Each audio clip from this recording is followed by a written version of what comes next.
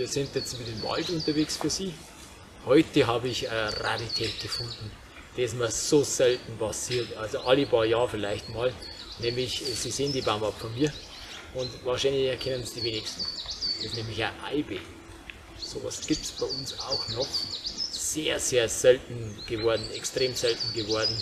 Äh, und ich finde es großartig, dass es Waldbesitzer gibt, die sich jetzt die Mühe machen, so, so eine Eibe zu pflanzen und äh, mit einem Einflussschutz zu versehen, weil der Wildverwegen und Wildverbiss ist halt trotzdem ein Thema. Äh, und ähm, das ist einfach eine tolle Baumart, die hat ein unglaublich gefragtes Holz. Also selbst wenn es keine große Stärke hat, kann man das Holz versteigern. Das ist richtig gefragt. Die Eibe ist natürlich viel äh, langsamer wachsend, äh, ähnlich wie, wie so Tannen äh, wachsen.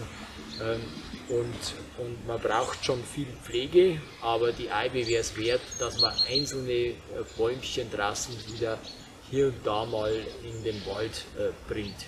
Die Eibe hat eine lange Tradition, die wird extrem alt und die hat schon immer, früher war es im Wald eher beteiligt, heute ist also aus der Mode gekommen. Aber es wäre Baumart, die auch im Hinblick auf Klimawandel durchaus eine Chance bekommen sollte, ein paar Exemplare äh, sagen wir, zur Artenvielfalt im Wald beiträgt und deswegen durchaus auch die Chance bekommen sollte, wieder beteiligt zu werden.